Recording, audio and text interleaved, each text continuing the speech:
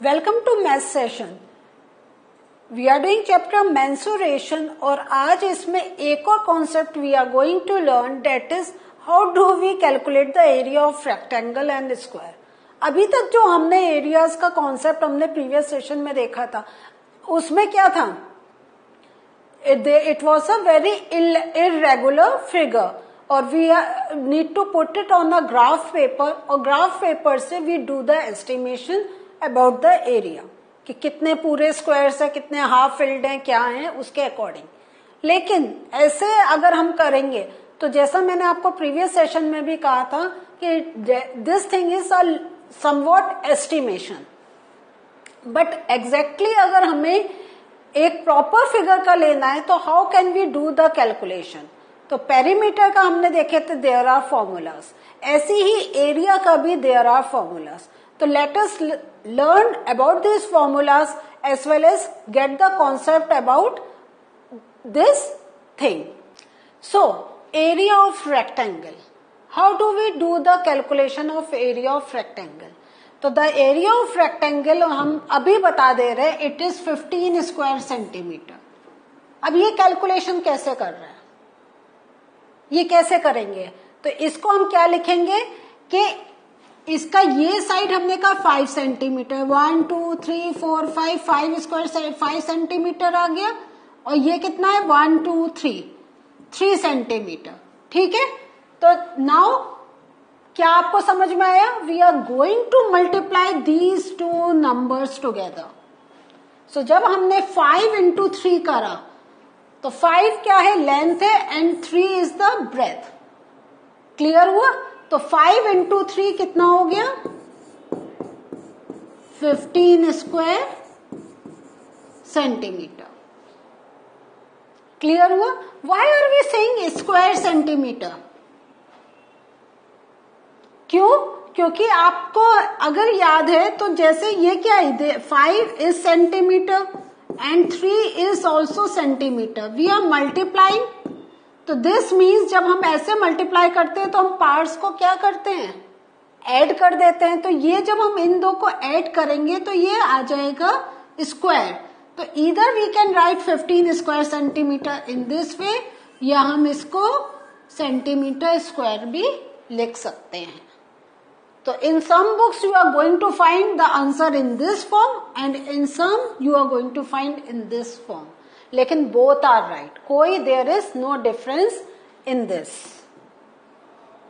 next अब ये जो है कि when we do the calculation of area without a graph paper तो कैसे करते हैं? एरिया ऑफ़ रेक्टेंगल को हम कैसे लेते हैं? लेंथ इंटू ब्रेथ स्क्वायर में भी length into breadth and rectangle में भी लेंथ इंटू ब्रेथ तो लेंथ हमारा six centimetre, breadth four centimetre, answer क्या आ गया? Twenty four square centimetre. Clear?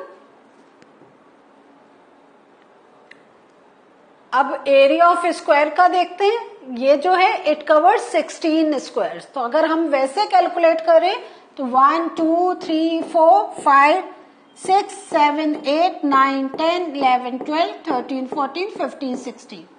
Sixteen हमारे स्क्वायर है। हमने क्या सीखा था? ग्राफ में क्या करते हैं? नंबर ऑफ़ स्क्वायर्स काउंट करते टोटल ही है, उसको हम वन से मल्टीप्लाई कर देते क्योंकि हमारा स्टैंडर्ड वैल्यू की how are we doing it that one square जो है that is of one square centimetre clear हुआ? सो so, हमारा क्या आ गया?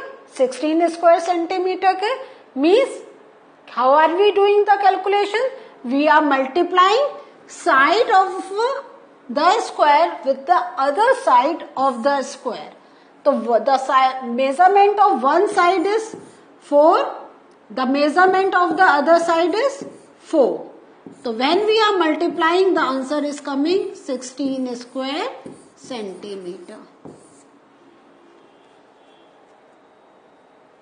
Clear? Okay, let us move further. The area of rectangular piece of cardboard is 36 square centimeter. Now, because अभी क्या है हमने एरिया का अभी स्टार्ट करा है ना तो let us first draw the picture तो क्या है रेक्टेंगुलर पीस है ना तो हमने सबसे पहले एक रेक्टेंगल पीस बना लिया नेक्स्ट अब क्या करना है हमें तो the area of rectangular piece of cardboard is 36 square centimetre so this is the area that is already given to us तो area of cardboard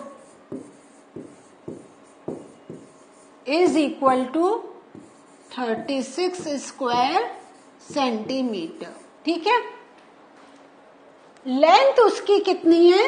9 सेंटीमीटर। तो length of the cardboard. Length of the cardboard कितना है? Nine centimetre.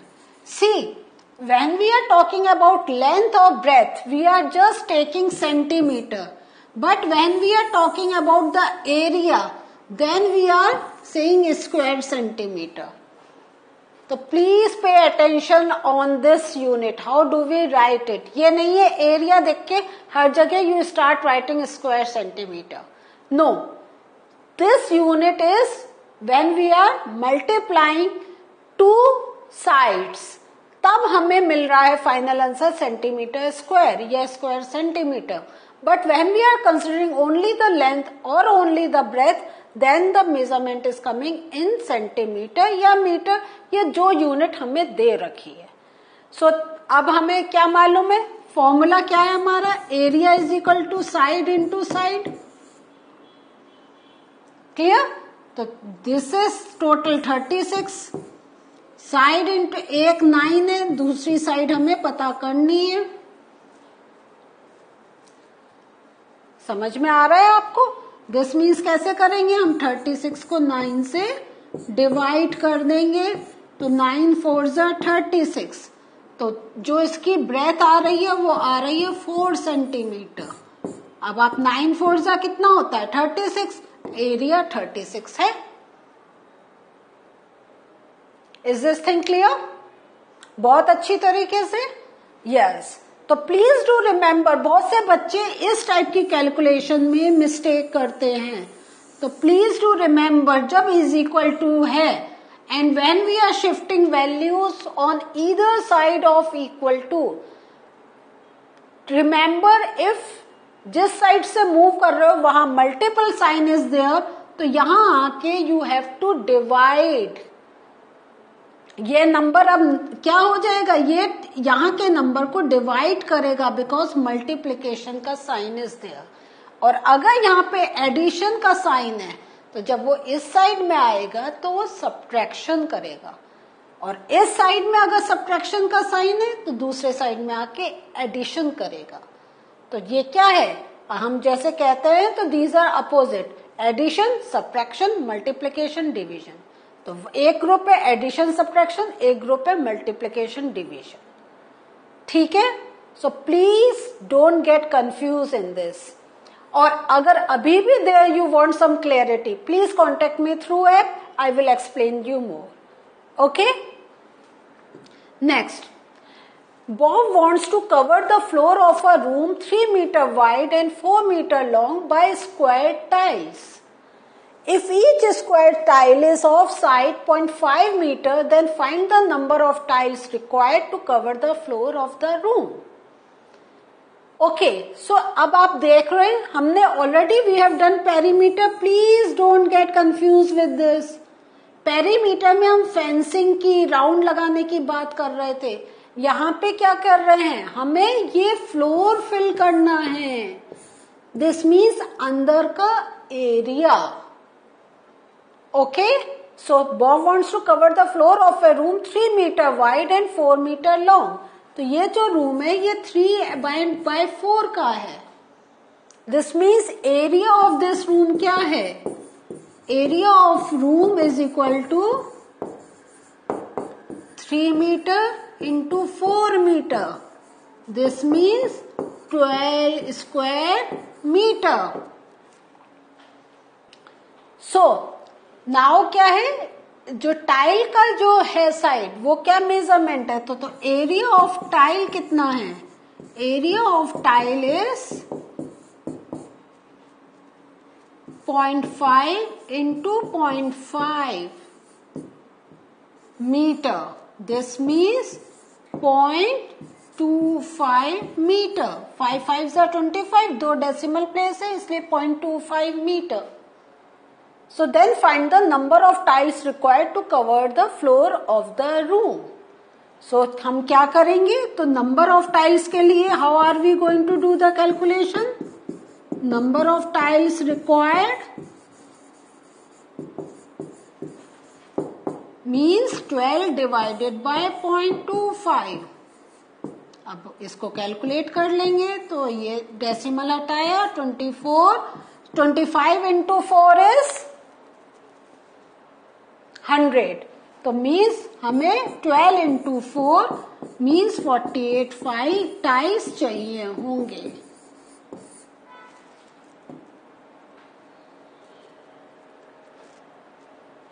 So, we will need 48 tiles to cover the total floor.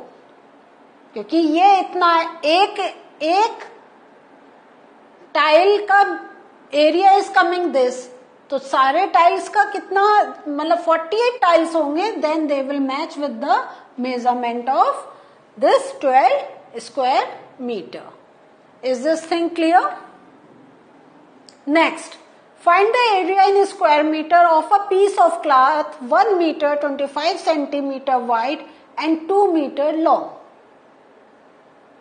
okay so क्या है? Two metre long and one metre to uh, 25 centimeter. So this is something like this. तो 1 meter 25 centimeter को how can we write? 25 centimetre is equal to how much metre कैसे करेंगे centimetre को metre में तो 25 centimetre is equal to 25 upon 100 metre तो ये आ गया 0.25 मीटर तो दिस मीन्स 1.25 मीटर ठीक है? नाउ एरिया निकालना है।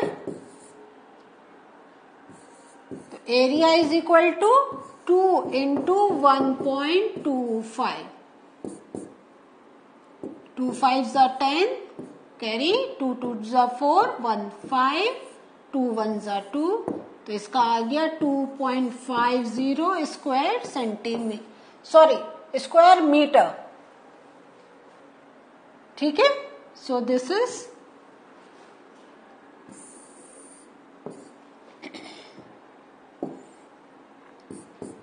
फिर से करते हैं टू फाइव जा टेन फाइव स्क्वायर मीटर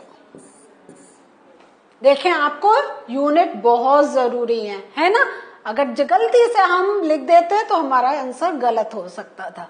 तो इसलिए जब आप लिख रहे हैं इससे उन्होंने क्लियर कर दिया स्क्वायर मीटर में करना है दिस मीन्स हमें ये सेंटीमीटर को हमें मीटर में चेंज करना होगा।